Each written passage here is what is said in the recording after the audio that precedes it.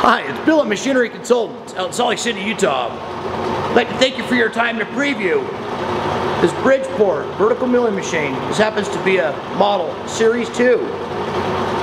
It's an original Series 2 vertical Bridgeport mill. What a gem it is. All right, coming down. The machine happens to be serial number 7122. Thanks, man. Serial number 7122. I'd like to point out the original chrome flaking here. Absolutely gorgeous condition. Lower electrical control panel. Series 2 has the 11 by 58 table area, offering 15 inches in the y-axis, 15 inches on the knee up and down. Now additionally, the way this table is set up, with these stops, it'll go approximately 34 to 35 and a half of X travel. Machine set up with power feed on the quill. It's a number 40 taper. Currently running at uh, a, what, 1,000 RPM? 1,000 RPM. Machine is set up with a rear mounted shaping attachment built into the ram integrally has a six inch riser block built into the frame integrally. And the ram is a one piece design. Comes back to accept the shaping attachment. Very cool. So it's mounted on the front of the knuckle in other words, right? And it runs great. So all original machine. We've gone through the electrical motors. Uh, running the machine now at 1000 RPM. Let's go ahead and run through some spindle speeds and some feeds, Frank. I'll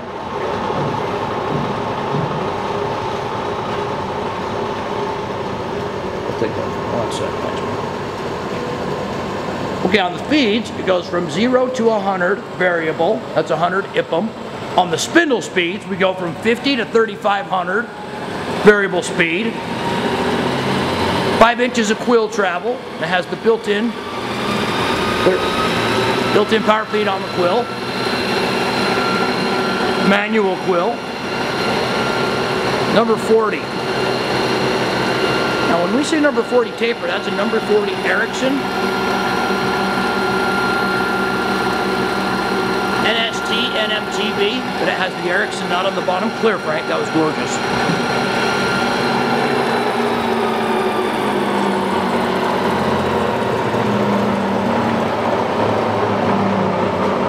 Machine set up with an auto lube system.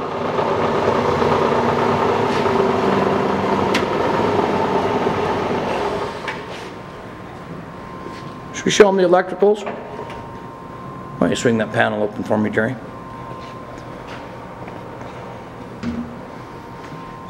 So rear mounted shaping attachment coming down to the American Electricals. Gorgeous, clear. Okay, you can close it back up. You can close it back up. I just wanted to show the panel. It's pre-wired at 440 volts, 460 volts, whatever. Back here. Where are we at, Frank? Back here. I got carried away on the back side. 140. Running them back here. Again, 50 to 3,500 RPM. You can take the clipboard, bro.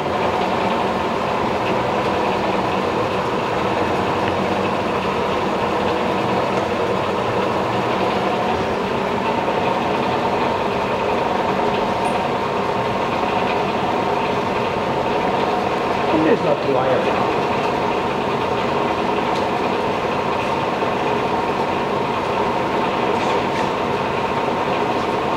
Okay, we're running through the electrical panel down here, the control panel. Until we change the speed of the feed and select the feed. For the cross, the knee, the saddle. I'm going to park over here, Frank. Down. Coming back, coming down.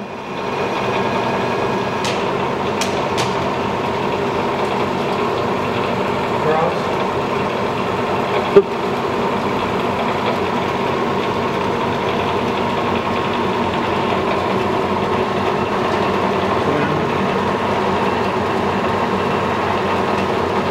Beautiful. Give us another chance to show off those chrome, the chrome finish. Just gorgeous. So we'd like to point out the condition of the uh, the saddle.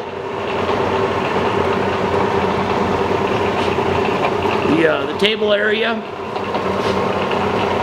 Very, very well maintained machine. All the lubrication's been gone through and checked out. All clean lines, fresh one uh, automatic lube system. These dials are just blowing me away. Did we mention all four of the motors? Let's see, we're all the, uh, these motors have been gone through. The little DC motors, that one, this one here. Okay, this is better than last time. We're at six minutes and change. Going to the spindle.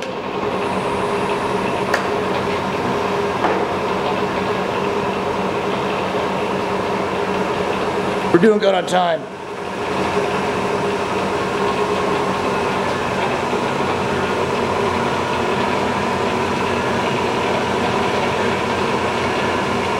Variable feed rate off the potentiometer knob.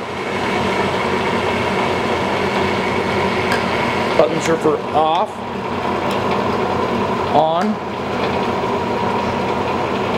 up, down. So this was the option of the Quill Power Down feed. There's a little circuit board in there. We went in and we freshened up the little circuit board in there. As a matter of fact, we uh, we insisted upon replacing the little circuit board in there. Bridgeport items off the shelf. Gotta love it. Should we show them the uh, shaping attachment? Yes. Let's do. Okay, so this is pretty cool. The way it's set up is we're going to turn it on and off off of the uh, controller on the front side here. Clear?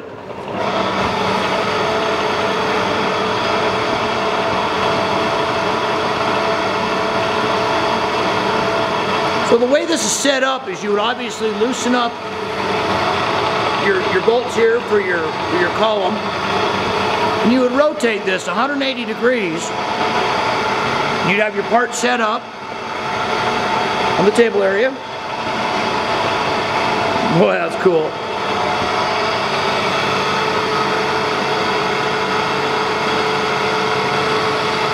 Eight changes on the strokes per minute. From 60 up to about, uh, 380.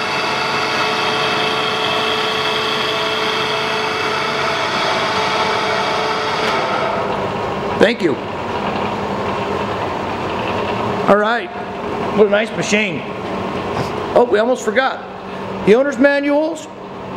And also we have the number 40 slash NMTB NST. Spindle tooling here. Have some real nice pieces. Let us know what you may be interested in. We have the uh, keyless drill chuck, integral on the shank. We have a universal micro bar. Now, let's show them this real fast too, Frank. This is the wrench here. What this wrench is for, let's show them how that works. Let's not take it completely in and out. Let's just, uh, or do whatever you want. Okay, so we're going to stop the spindle on the machine. Hit the brake. This is lock. Now when we go to change the speed out, the spindle tool out, That's lock. That's loosen. Perfect. Well done. All right, well, if there's any questions that uh, you have or any additional inspection that you would like to hear, let us know. This is Machinery Consultants out in Salt Lake City, Utah. Want to just stabilize that for me? Go About right here. Yeah. Clipboard, thank you. So again, this happens to be serial number 7122. It's a Bridgeport Series 2, here at Machinery Consultants in Salt Lake City, Utah. Has the riser block mounted in it. That's a 6-inch riser block. It has a rear shaper attachment. It's an 11 by 58 table offering 15 by 34 to 35 by 15 on the knee by 5 on the quill. Power beat all the way around. What a wonderful machine. All American made, it's a Bridgeport American classic. Well, until next time, please feel free to hit me up if you desire to at mci at machineryconsultants.com. This is Bill Wilson Jr. at 801-531-9500. We're just a phone call away, or just a mouse click away here at Machinery Consultants in Utah. If you have any questions, let us know. Thanks again, have a great day. Peace.